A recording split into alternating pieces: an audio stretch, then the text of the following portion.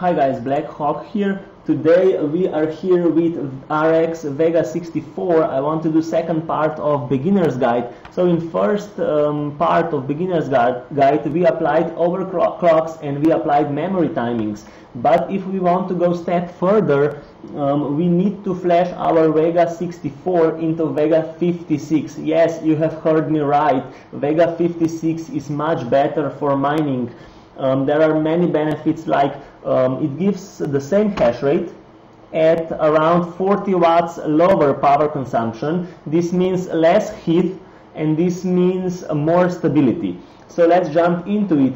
First, you need to know which uh, model of card you have. I have Sapphire um, reference model, Blower model, so you need to download exact um, BIOS um, of your model just um, Vega 60, uh, 56, sorry.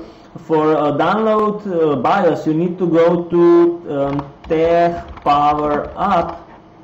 Um, best is to, to just um, write here, um, type here, sorry, um, BIOS Vega 56, and it will um, lead you straight to the Vega 56 BIOS collection you need to go here. Um, okay so here are all Vega 56 BIOSes. I downloaded um, Sapphire not this one because this is Nitro. Uh, so Sapphire Nitro Nitro no. Um, Sapphire this one. Um, this is the BIOS I downloaded but you need to download BIOS that is the same as your card Probably not all of you have um, Sapphire reference models, of course. And um, another thing you need to confirm is that this um, memory here is the same like yours. So mine is Samsung, this is okay. Okay, I already have this BIOS um, on uh, the desktop, so I'm not going to download it again. Then you need to have this AMD VB Flash program. I'm using uh, CLI version because I like it um, you need to put Vega 56 BIOS into the same folder with your um, AMD VB Flash program. You need to run this Insta-Tool64 as administrator. By the way, I will put all the links um, in the description. And then you need to run cmd command prompt as administrator.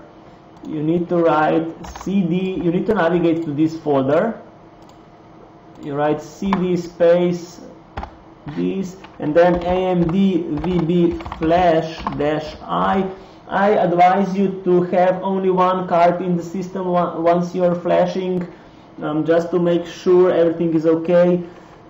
AMD VB flash dash P0 this 0 is adapter number. So you can see 0 around my Vega. And then you need to to put in the name of new BIOS that you want to flash to your card. So this and don't forget dot .rom. Press enter and you will get these messages and at the end you should get um, restart system to complete VBIOS update. Um, close the programs, let me restart and I will be right back. Okay guys, I am back after the restart, so if everything went fine, you should be able to get into Windows and see the, the picture on the screen. Let's check Device Manager, in display adapters, okay, everything looks fine, Radeon RX Vega, this device is working properly, everything looks fine. Oh, sorry about this. Let's um, now do the same thing like in um, uh, with Vega 64 in Beginner Guide Part 1 um, let's crank up the fans because this card tends to get very hot like this. And let's start mining program to see what hash rates we get on stock settings. Let me fast forward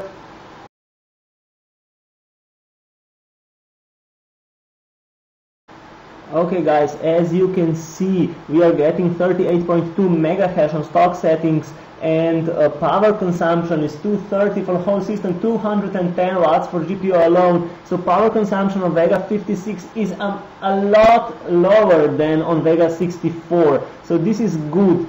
now we, we need to apply overclocks um, let's let's um, do some safe overclocks for this guide uh, let's put this to 980 and um, here we can put 830 here we can put um, 150 and the same 8, 830 um, sorry. Okay let's uh, let's press apply and see what hash rates we get with these overclocks in the meantime we can get ready to apply mm, like this to apply memory timings. Um, we will need this uh, AMD memory tweak tool. Yeah okay let's do like this. And um, I already have saved um, saved timings you can see them here but first um, first let um, let's see what hash rates we get with overclocks only. 50 like this. So with overclocks alone we are getting 46.15 megahash so this is huge difference if you compare with Vega 64 overclocks alone and we are using the same 180 watts like uh, Vega 64 with overclocks alone so now let's um, let's use also memory timings to see what we will get um, with memory timings. Um, you can see one thing here, you can see T-mem is lower. Course, we are using less power. Okay, hash rates go up. As you can see, we are using around um, 190 watts for GPU alone and um, let's see what hash rates we get let's give it a few more uh, moments um, guys um, you need to be aware that these memory timings and these overclocks will, will only work for Samsung HBM2 Vega if you have Hynix you will need different timings you will need different um, overclocks the same with Vega 64. Samsung has uh, one timings, Hynix needs uh, different timings and different overclocks. Okay, we are getting 51.3 mega hash um, at 190 watts. And there is just one more thing for us to do and this is we, we, we need to apply these um, power play tables the same like in uh, video uh, in beginner's guide um, for Vega part 1 for this we need to know um, what is this number? Okay 0003 and you need to edit this file put here this number. Save. Let me show you again. You need to go into overdriven tool. You need to select your card. Right click up here pp table editor and in here you will see these last four numbers. You need to put those four numbers in here. Those need to be the same. Then you save it close and double click. Uh, yes okay. And then you need to restart. Let me restart and I'll be right back.